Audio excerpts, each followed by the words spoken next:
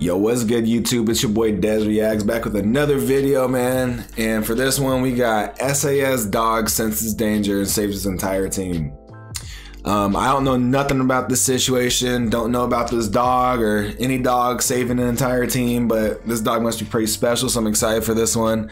Um, this is similar to the last dog we did, Kuno. Um, this is gonna be a short and sweet video, but they're always pretty they're always pretty cool. Um, if you guys haven't already, please smash that like button. If you haven't, um, hit that subscribe button and let me know in the comments your thoughts and feelings on this and uh, other videos you guys want me to react to. Um, if you'd like to support the channel, you can. Links in the bio and uh, or in the description. Sorry. Um, this one should be pretty interesting. It looks like I got a lot of positive feedback. Um, so let's get it.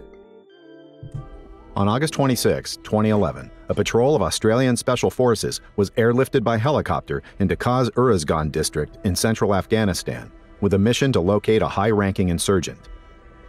What the patrol didn't know was that the enemy fighters were already expecting the soldiers and had laid an ambush. Fortunately, the oh. Australians were accompanied by a loyal military working dog who would do anything to save their lives. Wow.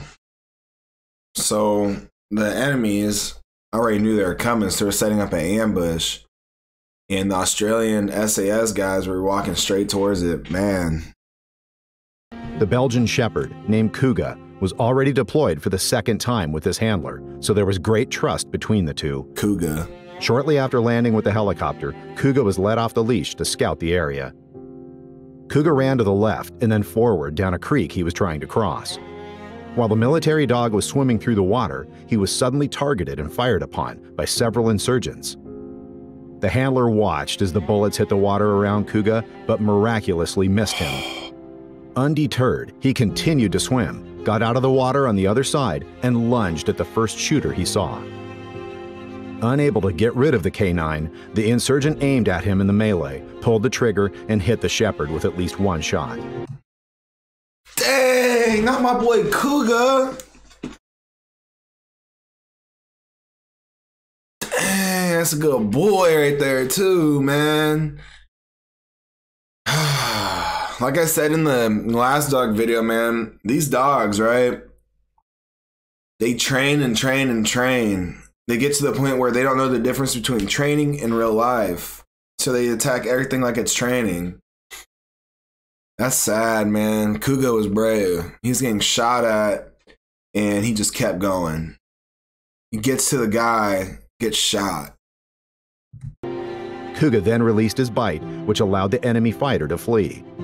However, when the insurgent gained a few meters of distance, he stopped, turned around, and fired his assault rifle a few more times at Kuga, who suffered five gunshot wounds. Two projectiles hit the dog on the ear, another one hit the toe, the fourth bullet entered his cheek and exited on the neck. The fifth projectile hit Kuga in the chest, exited again at the shoulder, and broke his left leg. Oh. In addition, he suffered splinter injuries to his lower spine. Meanwhile, the Australian Special Forces had been alerted by the gunfire and also attacked the insurgents. Relentlessly, they fought their way forward, but failed to reach the other side of the creek. When the handler saw his four-legged comrade lying motionless on the other bank, he called him over, hoping that he could still save him. Despite his numerous wounds, Kuga slowly got up, crawled to the water, and swam back to the other side to rejoin his team. What? How? He got shot five times. This dog is tougher than you know, honestly, 99.9% of men out there got shot through the cheek, exit through the neck, shot four other times, broken bones, gets back in the river and swims back to his team, man. Kuga's a trooper.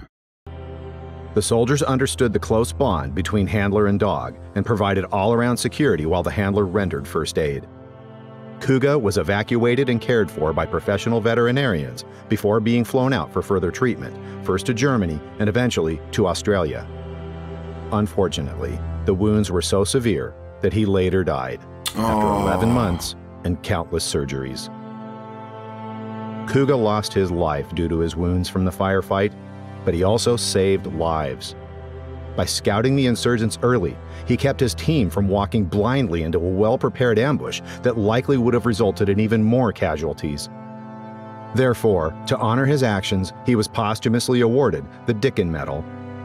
This special medal was created in 1943 to honor animals that performed particularly brave feats in wartime operations. Kuga's handler later said, I'm pretty proud of what Kuga did that day. He's the one who chose to go forward. He's the one who chose to take bullets for both me and my mates. Ultimately, that enabled me to come home to my family. A brotherhood that no one else could ever understand. Wow.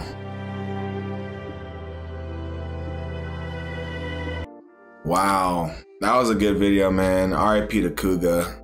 For real. If you guys enjoyed that video, man, please smash that like button, hit the subscribe button, leave a comment on your thoughts and feelings, man.